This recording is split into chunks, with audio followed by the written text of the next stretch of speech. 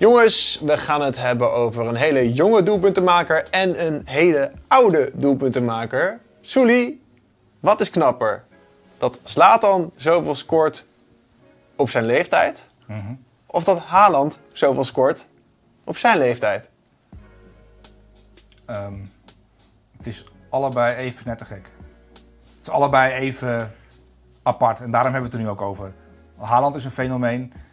En Ibrahimovic is een fenomeen. Ik bedoel, iemand van 39 die 11 doelpunten heeft gemaakt in de Serie A. 10, 10? dacht ik. Nou, Ik heb er 11. In mijn telling klopt eigenlijk altijd. Oh, dan ken je 11. 11, ja, is goed. eh, 11. Ja, maar hoe die de bal weer binnenkomt, hè? Tegen Napoli. AC Ja. Milan nog steeds 4 aan kop. Ja, en een paar jaar geleden in een interview zei... Dat koppen, dat ben ik niet zo goed in. Nee. Maar daar dus keihard aan heeft gewerkt. eh, Moet je nagaan. Ik bedoel, kruisbandblessure. Manchester United, Amerika, te saai voor hem.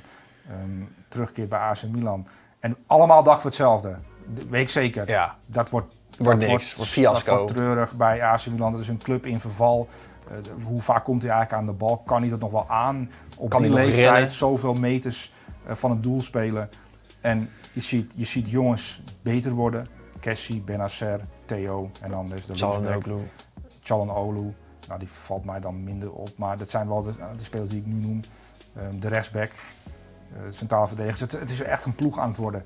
Ehm, en daar heeft hij toch wel aan bijgedragen. Sterker nog, dat, dat, dat Pioli nog steeds de trainer is. Dat komt omdat Milan heeft gezegd, ja dat hele Red Bull gedoe, leuk en aardig. Maar dit is een, dit is een voetbalclub. Ja. Eh, we hebben gewoon Zlatan. En deze trainer blijft en we gaan het met deze jongens doen. En dan het op deze manier waarmaken. Ehm spelen tegen Napoli. Ehm Goeie ploeg. goede ploeg. En, Koulibaly achterin. en dan kopt hij die bal binnen met een overtuiging. ehm, vanaf een best grote afstand. Maar de techniek van die kopbal is goed. De kracht van die kopbal is goed. Ehm, het ziet er echt goed Randje uit. 16 Bewust, randje-? Ja, iets erover. Ja. Met een, ja, het is echt een hele knappe kopbal. Echt een wereldbal. En dan, ehm, dan ook nog eens de tweede helft.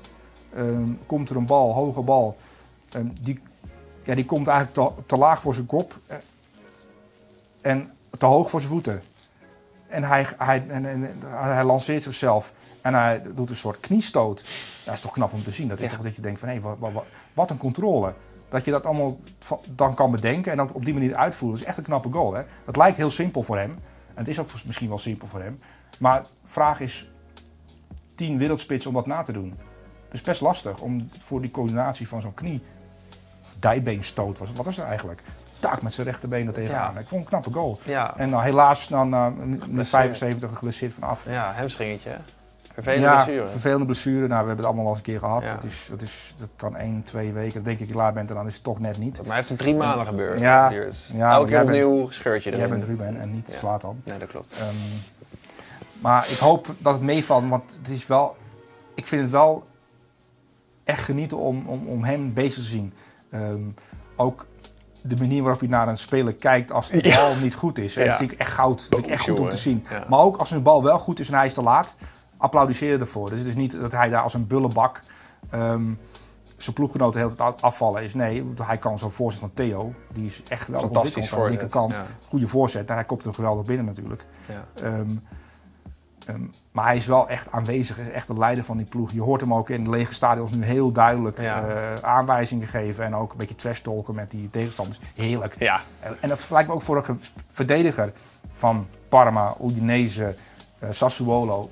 Gewoon, het is een uitdaging om tegen tegen te spelen. En Koulibaly is toch geen kinderachtige verdediger? Een fantastische verdediger. Maar Koulibaly is een klein kind vergeleken bij Slatan. Hè? Zag je, ja. heb je de foto's gezien dat hij een bal aanneemt ehm, en dat die voet boven zijn eigen hoofd uitkomt? ja. En we hebben het Niet al normaal. 1,94 hè? Ja. Dus, dus zijn, het- is een grote teen komt boven zijn eigen hoofd uit en hij en die bal perfect aan. En dan zie je Koulibaly erbij kijken, dan lijkt een klein duimpje. Ja. Ja, dat is, dus, dus het heeft wel veel macht en veel power en veel vertrouwen om in een duel, een rechtstreeks duel met Koulibaly, om eigenlijk wel te kleineren. Ja. Die heeft geen, gewoon geen kans tegen Zlatan. Nee, We hebben het over Baresi. een van de beste verdedigers ter wereld. Ja, weet ik. Eh Baresi was natuurlijk een legende bij Milan. Een hele goede verdediger. Die heeft Slatan zelfs vergeleken met Gullit en Van Basten. Een kruising eigenlijk tussen die twee. Qua Die kracht en souplesse qua, en techniek. qua ja. ook belangrijkheid voor... eh, Als Franco Baresi dat zegt, Zo, dat is dan, dan, dan, dan klopt dat wel. ja, Nee, daar ga ik niet tegenspreken. En hij heeft ook wel gelijk. zeker. Het is inderdaad een, een, een combinatie van, van twee spelers. Is eigenlijk in een groot lichaam geboren. Ja, Of andersom. dat is vroeger heel wel, technisch, dus het trucjes is apart, ja. Ja. Eh, we gaan eh, van de Zweed naar de Noor. En de Noor is enorm eh geïnspireerd. Fan van de Zweed. Eh, Fan van de Zweed, Ja. ja. Erling Braut Haaland. Goed. Heurland, toch? Heuland. Oh ja, shit. Erling Braut Haaland. Die uit is? Eh, Erling Braut Haaland. Verkaast. ja, verkaaste uitspraak van eh, Erling Braut Haaland. Vier goals eh, in het spoor van Lewandowski. Ja, eh, deze gast, jongen, die, die kan zo ontiegelijk goed afmaken. Ja, Zo'n sluipmoordenaar. ja. Alles in de 16 lijkt gewoon raak. Ja. Maar ook zo composure heeft hij, zeggen ze in Engels. Hij blijft altijd zo rustig in de Ja, 16. hij zit in een wedstrijd, dus hij is geconcentreerd. De eerste goal is een intikker. Eh, maar hij heeft natuurlijk van die enorme lange benen. Ja. eh, dus dan is een intikker altijd, ziet er altijd makkelijk uit. Maar je moet altijd wel op tijd zijn. Nou, hij is wel op tijd, want hij houdt er rekening mee dat die bal kan komen. Dat is, dat, dus het is een spits. De tweede goal, de, de actie diep, ehm, vind ik altijd knap bij hem. En ja, ik heb het teruggespoeld omdat ik, ik weet wat hij, wat hij doet. Maar als hij vlak voordat hij afrondt, doet hij altijd even uitblazen. Dan zie je zijn wangen. Dat is zo'n kikker die eh gebrult, weet je wel. Maar je ziet hem dan die blazen en dan afronden. Maar de snelheid en de precisie daarvan is, is eh, ja, dat is echt... eh Lewandowski heeft wel eens uitgelegd hoe, waarom hij altijd raak ziet. Eh, dat is gewoon trainen. Dat is doen. Dat is imagineren, zoals Louis van Gaal zou zeggen. Maar wat, wat Lewandowski ook echt, die droomt en denkt in doelpunten. Ja, ja. En ook op trainingen, dat herhalen. Maar wat Kane ook gedaan heeft. Want Kane is ook daar echt geweldig in, fe- fenomeen in. En Haaland heeft dat nu al. Omdat hij daar ook al jaren mee bezig is. En dat scoren voor hem is, is een verslaving, is een spelletje. Dat is eigenlijk het enige in zijn leven. Ehm, dat scoren. En dat zie je, ja, die is echt maniacaal bezig met doelpunten maken. En dat je er negen maakt op een jeugd-WK, dus wel een teken aan de wand. Hè? Want dat betekent dat je niet helemaal lekker bent. Dat er iets mis met je. Nee, er is iets mis met je. Ehm, je, je, hebt, je ziet het ook wel eens bij, op zaterdagochtend bij de F1 van een bepaalde club of onder 6, onder 7. Er zijn ook wel jongens die er 8 of 9 maken. Die spelen dan voor een zakje snoep, weet je wel. En hoe meer ze doelpunten maken, hoe meer zakjes snoep ze mogen. ehm, eh, maar die halen ze wel snel van het veld af, want anders is zijn vader failliet. Maar Haaland heeft al vanaf jongens af aan altijd iets op het spel gezet. Hè, in, in weddenschappen met zijn vader, met vrienden. Van als ik er dan vijf maak, dan, dan dit of dan zus. En dat zie je nu terug. En dat vind ik wel mooi. Dat, heb je dat gezien eh, na afloop tussen de trainer en eh, Ja. Haaland? Ja. Dat, dat, dat, dat Favre eh, doet dan drie tegen hem, of drie, Ja. hè, zo drie. Hij doet vier en je ziet, die, je ziet Favre, nee, nee, minder normaal. Het waren er drie toch? Nee, nee, nee, four. Four. En, en je ziet die kop van, van Favre, nee, dat doe je niet. Vier keer. Ja, dat is, vind ik... Als hij het speelt is het goed acteur. Want dat is ook misschien een leuke manier om met zo'n jonge jongen om te gaan. Het is gewoon een jonge jongen natuurlijk. Eigenlijk gewoon een kleuter in een reuzenlijf. Ehm, heb jij gezien ook het filmpje van Haaland dat hij... eh, hij heeft ook de Golden Boy eh, Award gewonnen. Een soort gouden bal voor junioren. Ehm, Terecht. terecht. eh, voor Ansu Fati en João Felix, Felix. Ja. Ehm, heeft, er is hem verteld, jij hebt de gouden bal gewonnen, moet je wel even een filmpje opnemen, moet je de mensen die gestemd hebben bedanken. En dan staat hij in zo'n lange slobbertrui. Ehm, en een filmpje van 13 seconden. En dan staat er echt nog een kind dat, dat zenuwachtig is. Hij is zenuwachtig voor dat filmpje te maken. Dan vier keer scoren tegen Hertha BSC. En wat, wat ik ook mooi vond, is dat Hertha BSC... Ja, en je ziet het ook aan de, tegens, aan, aan de verdedigers. Ja, er komt iets in het veld wat, wat moeilijk te stoppen is. Hè. Het is echt natuurgeweld. eh, in, verpakt in een mensenlichaam. van orkaan. Maar hij heeft dan een tweet eh, dat hij, hij had een bepaalde droom gehad en eh, nou, had geslapen en was wakker geworden. En dan reageert Hertha BC op het Twitter-account: Do machines sleep? Vraagteken. En dat is ook een leuk, leuke grap. Ja. En dan reageert hij ook weer op ja. met een smiley. Weet je, dus hij kan het wel waarderen. Wat er allemaal omheen gebeurt, hij is wel echt, ik vind hem wel scherp. Ook in zijn manier van, in interviews vind ik hem scherp. Het is een intelligente gozer. Ehm, af en toe een beetje vreemd ook in interviews, maar dat vind ik ook wel weer mooi om te zien. Want dat is- ik met Slatan ook. En die maakt er ook een spel van. Die is ook vrij scherp. Dus, als je snapt wat ik bedoel. ja, Nou, ik vind het wel leuk als jongens gewoon af en toe een beetje spelen met, ja, tuurlijk. met, met de omstandigheden. En niet gewoon zeggen, ja, ik ben blij met mijn vier goals. voor Ja, great gedaan. performance. Fuck Thanks, you, for the, for, thanks Nee. for the supporters. Ja. Nee, gewoon eh, hij is, eh, ja, het is een, daar gaan we nog veel lol aan beleven aan, aan Heurland. Heerland, dat, Ja. dat heup ik ook. Ja. Eh, aan het einde van de wedstrijd was er natuurlijk ook nog een schitterend moment. Oh ja, ja, op de banken. Mukoko, Youssoufa Boukoko. 16 jaar, één dag, die mocht invallen voor de andere jonge ja, andere jonge fenomeen moet ik zeggen. Mukoko, dat is natuurlijk een beetje een, een, een mythe. Ja. Die, die, die, die, Ja. die, schijnt 16 te zijn. En die heeft al eh, 16 jaar 800 in één goals dag. gemaakt. Ja. In de onder 17, onder 16, onder 15. Nou, onder- hij was ehm 12 of 13 toen debuteerde hij in Duitsland onder 16. niet normaal. En toen maakte hij meteen twee, twee goals Ja, eh, bij zijn debuut. Toen hebben ze maar bij de Nationale Bond gezegd, weet je wat...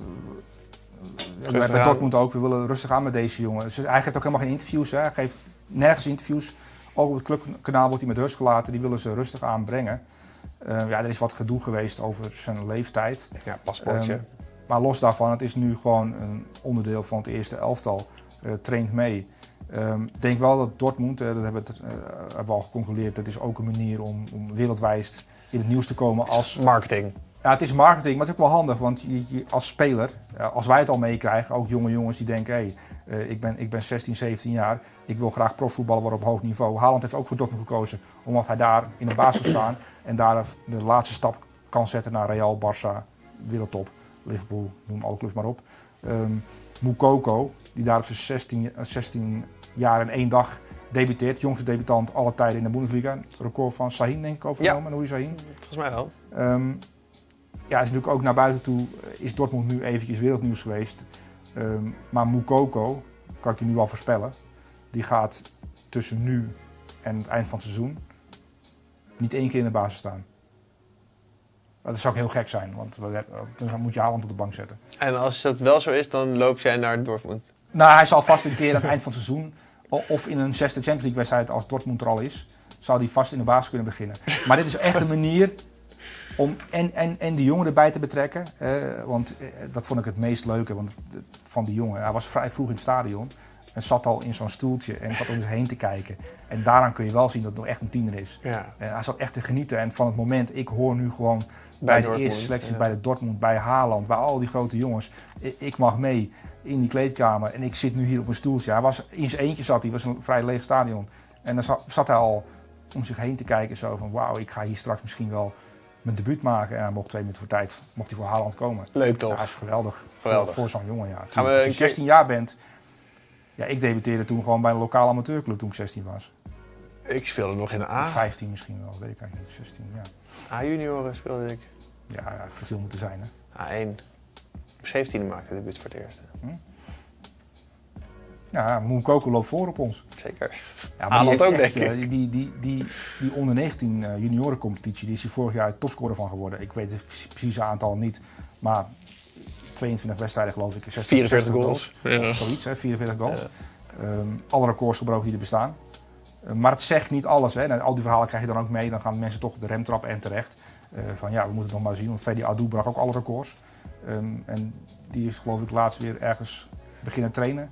in Ja, spelertrainer volgens mij. Ja, die is weer. Maar. eh, Dus. Je hoopt maar dat Dortmund van Wolk omgaat met zo'n jongen. En inderdaad hem ook uit de media haalt. Niet te, niet te veel ster maken nu al. Ehm, laat hem maar leren van Haaland. Dat lijkt me wel een goede leermeester. Ook al is hij pas 20. Maar een 20-jarige jongen kan natuurlijk wel wat overbrengen op een 16-jarige jongen.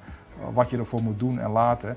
Eh, en vooral tussen je 16 en 18 ben je wel vrij kwetsbaar, ook lichamelijk gezien. Hè.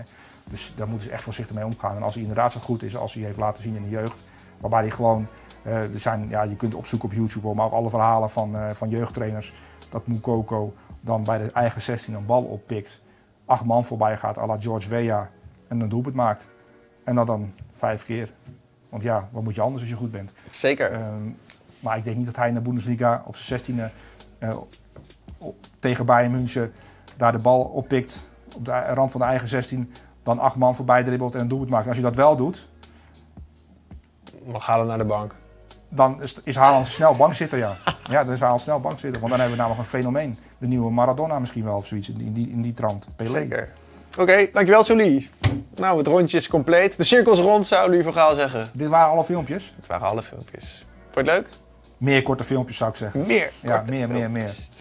Oké, eh, jongens. Er eh, zijn wel wat meer, ik denk wel, eh, wat, wat- ik maak uit altijd alles belachelijk wat jij eh, indient. Ja. Maar ik vind het wel, we zijn nu wel meer to the point per filmpje, want anders wijdt het alle kanten op. Nu hebben we toch wel gewoon, we hebben het nu even over Dortmund en Haaland. En dan hebben we het ook echt over Haaland. We hebben het nu over Koeman, we hebben het nu over Messi. Dat, dat, het- dat helpt wel, denk Jij hebt een korte spanningsboog. Normaal ben je de vraag altijd kwijt. Ja, ik denk dat het wel goed is. Ja, is Ja. goed voor jou. eh, Dus eh, bedankt da- voor- daarvoor. alsjeblieft. Ja. Ze een box geven, dat mag wel toch? Nee, nee, nee, ik, geef, ik raak je niet aan. Oké, dan meet me halfway. Suleiman de Goot. Usturk is aangeschoven. Hartelijk welkom, goedemorgen. Zijn Eh, de goat? Jij dat nou? Ja, dat, dat vertellen ze me altijd. Oh, hè? Dat, oké. eh, dus dat is zijn, eh, zijn toetelnaam. De Goat. Ja. Ik, ik schrik er zelf ook van om Michel, Ja. als, als Ja. Kees het zegt. Ja. Nou ja.